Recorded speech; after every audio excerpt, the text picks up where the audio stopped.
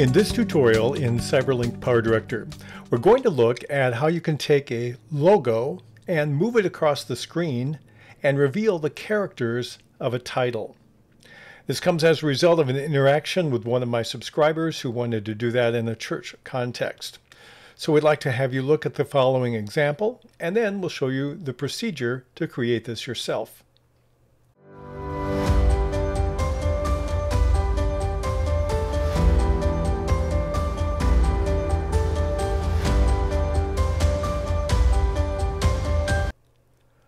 What I've done is I've taken this video of a guy taking notes on a piece of paper with an open Bible, and that's going to be my background. So what I want to do is add a title. I'm going to go to the upper left corner and click on Titles, and then I'll take the default My Title and drag it down to a higher numbered track. I want to position it carefully, so what I want to do is use my time code on the lower right by the preview screen. So I'm going to click in the second value and click 1, move over to the frames and type in 15 and press enter.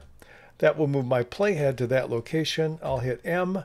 That will give me a timeline marker.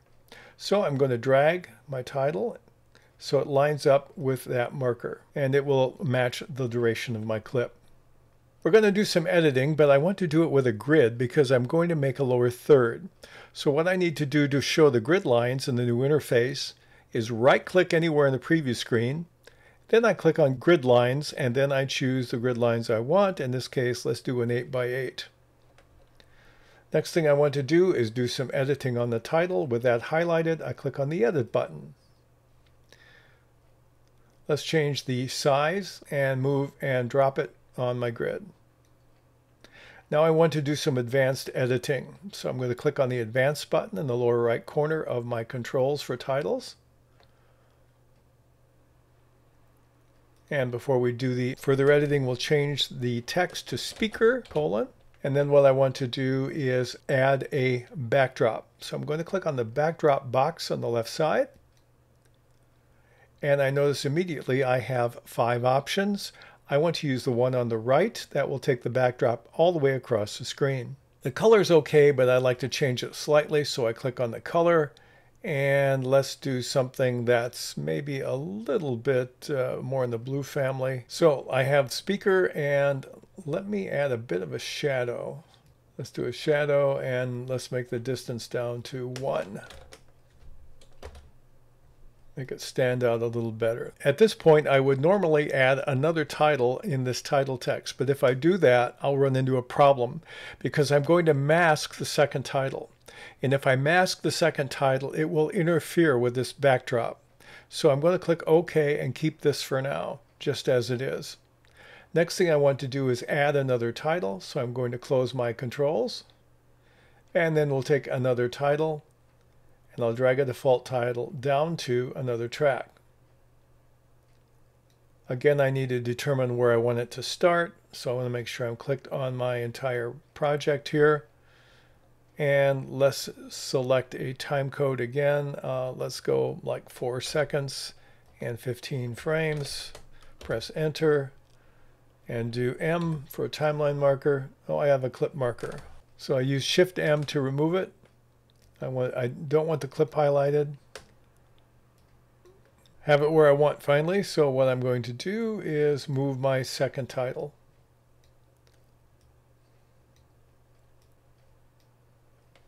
And I'll increase the duration to match the entire clip.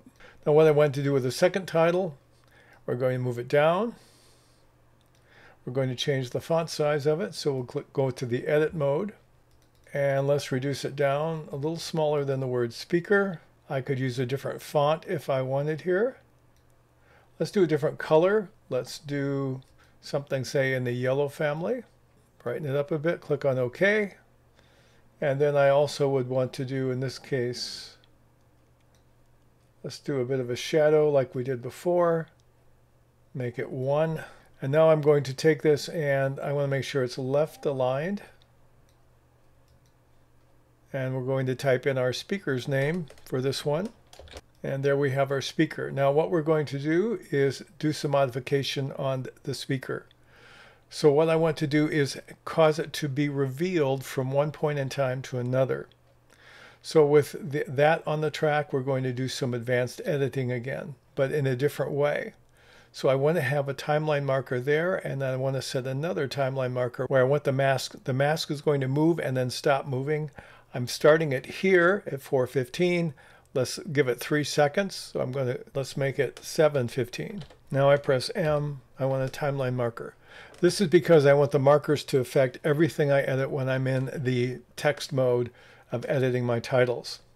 So we're going to have a mask and it's going to need these two markers as reference. That's why we're doing it this way. This time when I highlight the clip, I'm going to right click on it. I'm going to do advanced mask editing. And now what I want to do is select a mask. I'll take the rectangular one, the fourth one on the right. And you notice it will reveal only that title. So I'm going to start by making the mask big. You can waste space on a mask if you want to. And I'm going to drag it all the way to the left so you don't see anything but the word speaker. And then I'm going to set move my playhead to the beginning and set a keyframe right on that timeline marker. Then I'm going to go to the next timeline marker that I have and we'll set another keyframe simply by dragging it over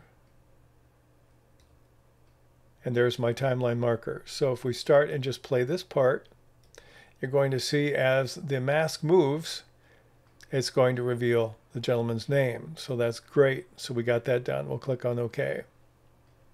So we have the first parts done. Now we're going to work on the logo. To work on the logo, we're going to go to our media room again. And I'll do images only. I'm going to take this logo that I designed we want the logo probably to be on another track. We'll start about there. Again, I could put a precise timeline marker in here if I wanted. We'll increase the duration to match everything else. Now the logo's way too big and in the wrong place, but we'll fix that. So I'm going to move to the, press the home key, take me to the beginning of that, that particular track with the logo.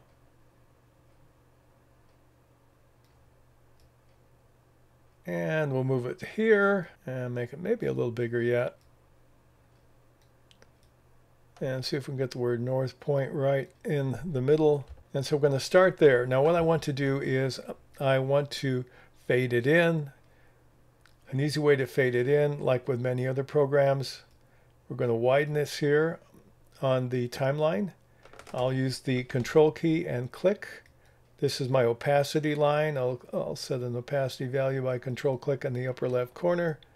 We'll drag it down. That was faster than I like.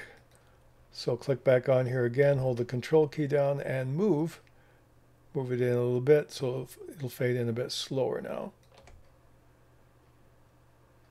And then I want it to move to match the movement of my mask. So that's what these are for.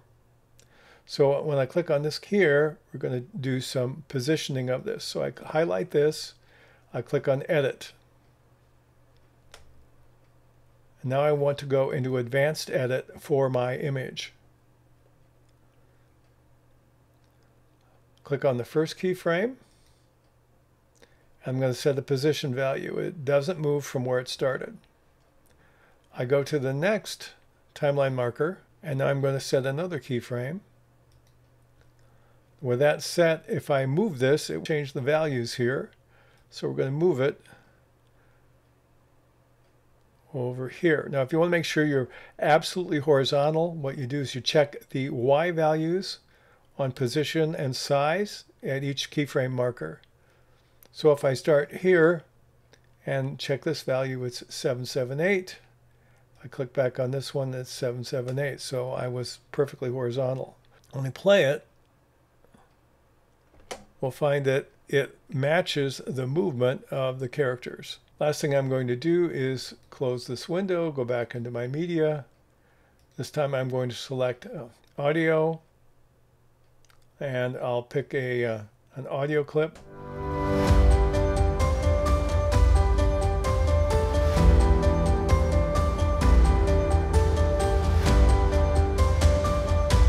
So that would be one way. Now, if I were to tighten this up, I would tighten up the, the movement of this logo with the letters a little closer, but that's the principle of it.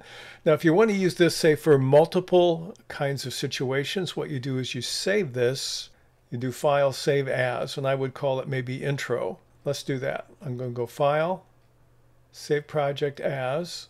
I'm going to call it Intro.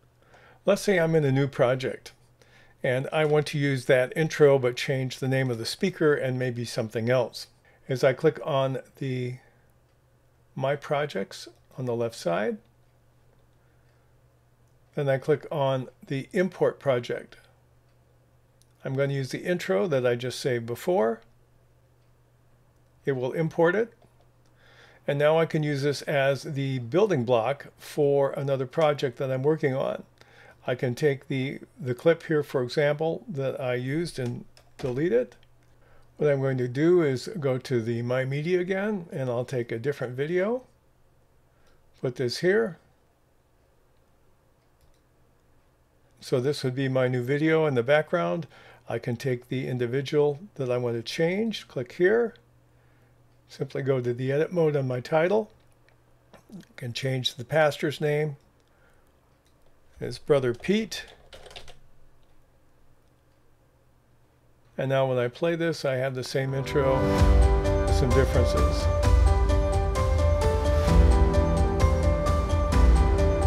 So that's how to do this somewhat complicated task in CyberLink PowerDirector.